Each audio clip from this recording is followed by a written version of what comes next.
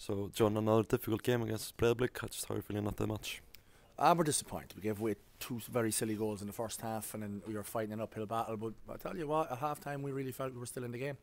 Um, we didn't lay a glove on them in, in the game on Sunday, and then we came out today.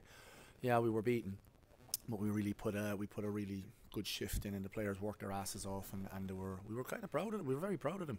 Um, gave away some silly goals though, and that's you see we were talking all year that we're we're we're you know taking the next step and whatever, and that is the next step to come to places like this and not give away silly goals, you know. And uh, I thought the way our players stood up to the the um, uh, I'm not going to say that the way our players conducted themselves was excellent, and we were very proud of their of their character.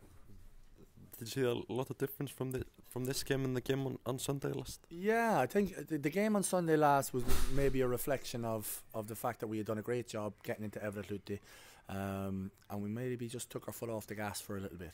And then I had a little chat with them um, on the, the day after the Monday, and then we got back to training. And I was very quiet the last two days because of the performance of the players. They, they all stepped up, they all worked hard, and you could see the effort and the commitment that they put in today. As I said, we just go back to the silly goals, and that's what we have to cut out. You know, we've scored some great goals through the year, uh, and we've defended very, very, very well through the year. Today was one of those days that you know anything that seemed to be hit seemed to go in. No problem with that whatsoever. We'll work on that.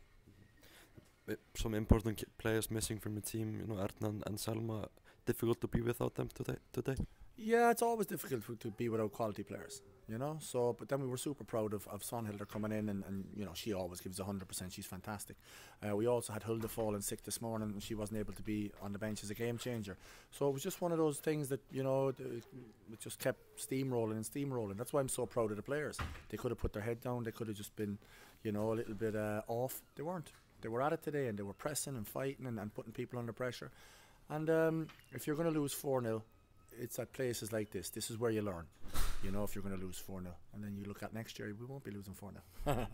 Adnan and Selma both dealing with injuries. So Selma is sick, but she's coming back, so she she should be coming kind of coming back into training now in the next few days. Adnan's just suspended, you know, and it's uh, that's all it is. She'll be back in again, and, and uh, you know, she's a great player, and, and it'll benefit us coming back in. But you know, you were talking about the players that were missing.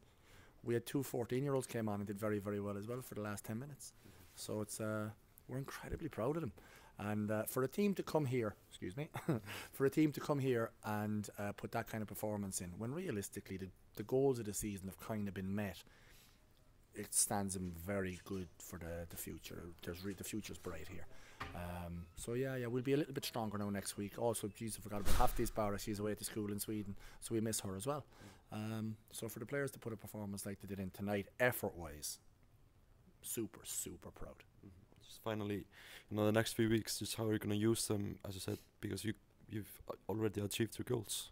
Well, yeah, we've already achieved the first goal.